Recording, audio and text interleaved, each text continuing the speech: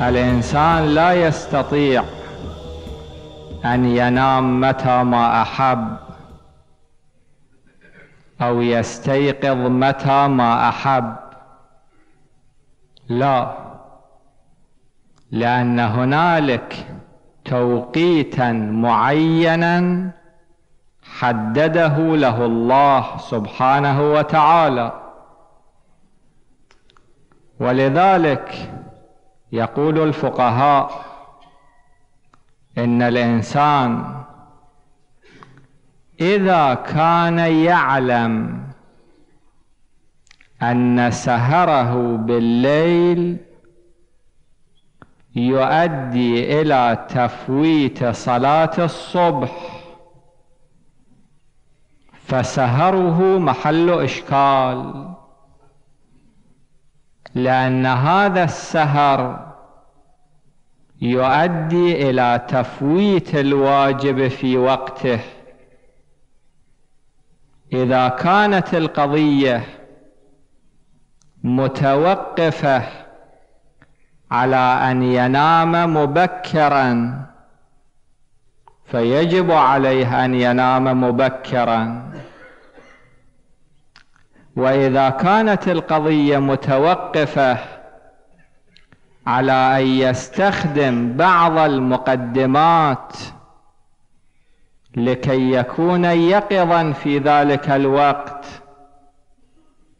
يعني يحتاج إلى منبه مثلا أو يحتاج إلى أن يتفق مع صديق له على أن يوقظه في ذلك الوقت. يجب عليه ذلك لأن هذه مقدمات وجودية لوجود الواجب في وقته. هذا التوقيت مهم. ولذلك نرى أن آباءنا أجدادنا الشباب المتدين الآن الذين يسيرون على منهج الآباء والأجداد. هؤلاء الشباب ينامون في أول الوقت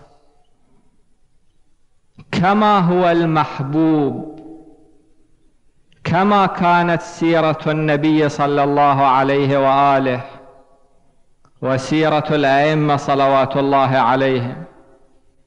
كانوا ينامون مبكرا ويستيقظون مبكرا. وهذا هو المنهج الذي وضعه الله تعالى للكون كما كان يقول أحد المؤمنين عندما يأتي الظلام يعني اذهب ونم. هذا معناه. الظلام مو معناته أن تشعل المصابيح الكهربائية وتسهر إلى الصباح. الظلام يعني روح ونام. هذا معناته. والنور يعني استيقظ. هذا خلاف المنهج الطبيعي أن الإنسان يستيقظ إلى وقت متأخر في الليل. وينام في النهار. هذا خلاف المنهج الذي وضعه الله لهذا الكون. وخلاف الطريقة التي كان يسير عليها المؤمنون. المؤمنون كانوا ينامون في أول الليل وكانوا يستيقظون المتدينين الملتزمين المقيدين. جعلنا الله منهم. كانوا يستيقظون في السحر وبالأسحار هم يستغفرون.